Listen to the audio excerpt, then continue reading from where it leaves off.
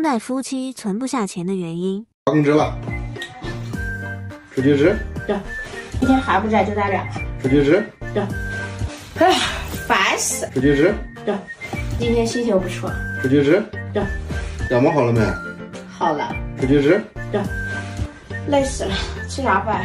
出去吃。对，好久没吃顿好的了。出去吃。对，走。对。